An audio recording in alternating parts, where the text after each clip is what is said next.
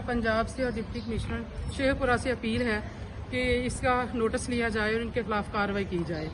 इनकी वजह से ये स्कूल से बच्चा इतने लंबे लंबे सांस ले रहा